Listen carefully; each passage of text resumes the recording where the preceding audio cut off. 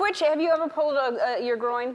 I have not, you know what? I have not pulled my groin Really? not like that. Like, I'll, I'll, not to the point where it's like super debilitating or anything like that. Like, I didn't ask how debilitating. I just asked oh, oh, oh, oh. if oh. you pulled a groin. I mean, yeah, I'm a dancer. I've pulled a little Yeah. bit of everything. Yeah, yeah. That's what I would think. Yeah.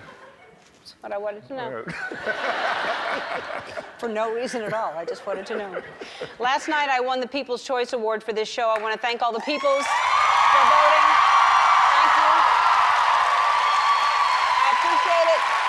Thank you, peoples. Um,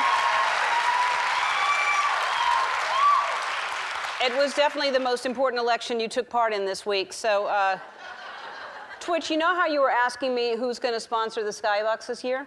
Yep. this this season actually. yep. It, uh, last year was Geico, mm-hmm. and today is a big day. We're going to announce our new sponsor. Drum roll, please. Our new sponsor is our old sponsor, Geico.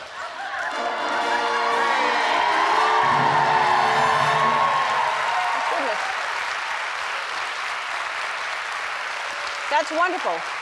Once again, it's our Geico Skybox. We hadn't bought any other blue letters, and so uh, it's, it's a good thing they came back. Um, you won't believe how easy it is to switch and save money. With Geico, you don't have to sacrifice anything. You win on price and service. It's a win-win.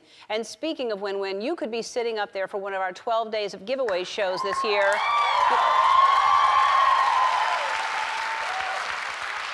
This year, you'll also uh, get to be uh, one of our skipping elves. So it's a win win. Just send me a short video telling me why you'd make a fantastic elf.